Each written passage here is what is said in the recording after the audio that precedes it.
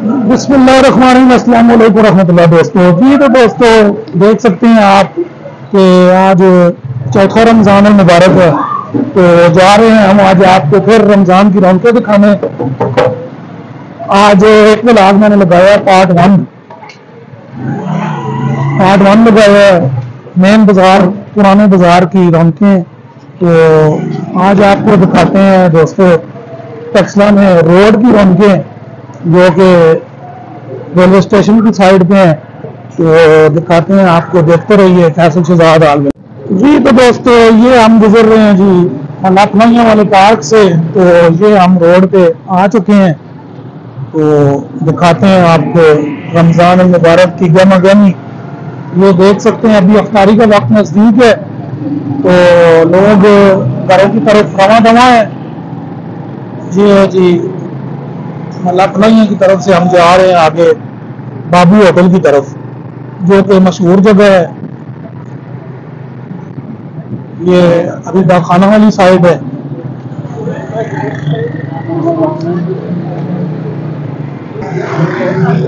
ये देख सकते हैं दोस्तों, काफ़ी गहना गहनी है। जैसे ही हम पहुँचे हैं, बाबू होटल की तरफ़, उधर काफ़ी आबादी है, ये भी स्टॉल लगे हुए हैं जी। रिफ्रेशमेंट के अफ्तारी के। तो लोग जा रहे हैं घरों की तरफ़।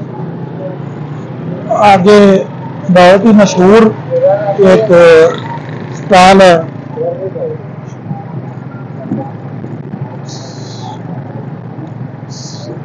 काले भाई का इमली अल बुखारे का शरबत और उसकी मशहूर चाट। ये जो बाबू होटल मशहूर देख सकते हैं, काफ़ी रौनक लगी हुई है। तो इससे आगे ये देख सकते हैं आप। खासकर जो बाहर के रहने वाले लोग हैं, वो टक्सला की ये हसीन यादें देखकर अपनी यादें ताज़ी कर सकते हैं। ये टक्सला रेलवे स्टेशन आ गया। तो इससे आगे जो है, समझे फिर एक वीरान सा इलाका है, उससे आगे फिर मोड़ है। उधर काफ़ी गमा गमी होती है। कल मैंने आपको अपनी रोड की तरफ़ दिखाया था, आज टक्सला रेलवे स्टेशन की तरफ़ दिखा रहे हैं। तो आगे चल के दिखाते हैं आपको म्यूज़ियम मोड़ की रोड के। ये आ गई है जी दोस्तों आबादी म्यूज़ियम मोड़ वाली। पाँच नंबर गेट की तरफ़ भी रास्ता जाता है। ये भी इधर भी रिफ्रेशमेंट के पॉइंट है। काफ़ी शॉपिंग के मार्ट बने हुए हैं इधर। ये आप देख सकते हैं, ये है मेगा मार्ट है बिस्मिल्लाह बेकर एंड सुपर स्टोर अल अल ट्रेडर, काफ़ी बड़ा सुपर स्टोर है। ये देख सकते हैं आप, इधर भी काफ़ी जगह हैं, और आगे होटल भी है जी अफ्तारी के लिए।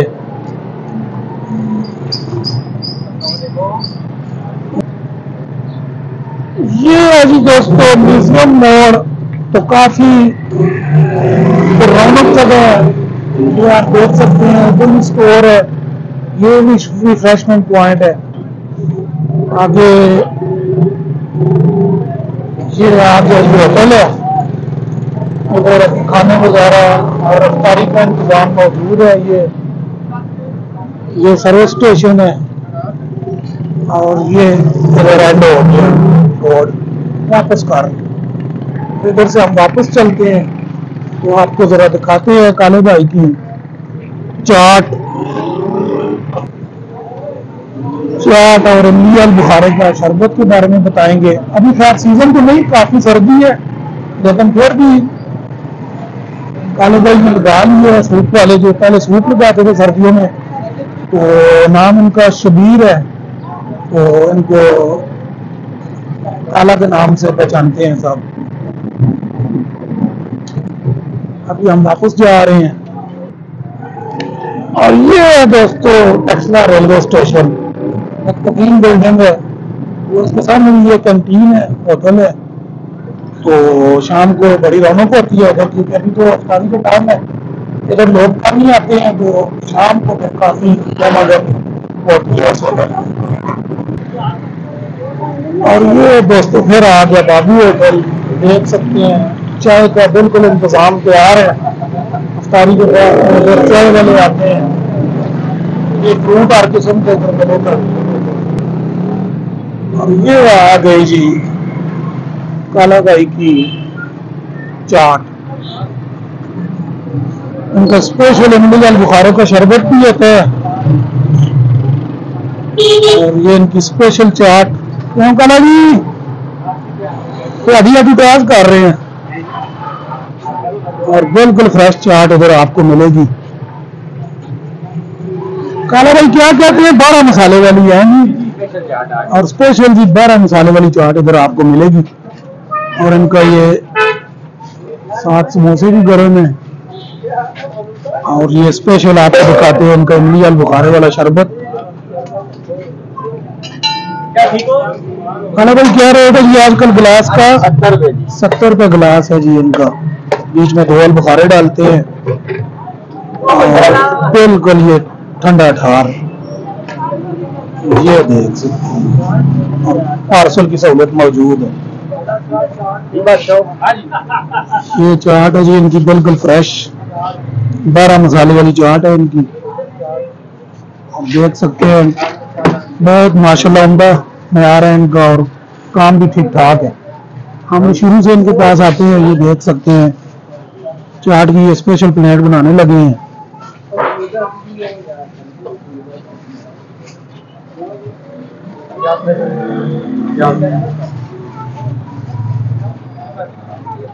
इंशाल्लाह रमज़ान में भी इनके पास जो आपको चाट और अमली बुखारे का शरबत आप मिलेगा। जी, चाट की क्या प्लेट है जी सिंगल एक सौ साठ और डबल दो सौ की। और टाइम मेरी चाट। बिल्कुल फ्रेश तो लाजमी विज़िट कीजिएगा इनके पास। ये थे जी समोसा चाट, गर्मा गर्म समोसे छोले। जी तो दोस्तों, ये था आज का व्लॉग उम्मीद है आपको पसंद आया होगा। और शबीर की चाट और अमली अल बुखारे के शरबत के बारे में भी आपको मैंने बता दिया। डिटेल में उनसे बात भी करवा दी और रेट भी बता दिए। तो हम भी अक्सर आते होते हैं इनके पास, खासकर सर्दियों में। बहुत ही उमदा स्वीट लगाते हैं अंडे के साथ तो वो भी पीते हैं। तो अब जो है इमली अल बुखारे का शरबत और बहुत ही उमदा चाट लगाते हैं। तो लाजमी विज़िट कीजिए। वीडियो को लाइक, शेयर और सब्सक्राइब लाजमी कीजिए। इसी तरह दीजिए इजाज़त। अल्लाह हाफिज़। Good bye. सलाम वालेकुम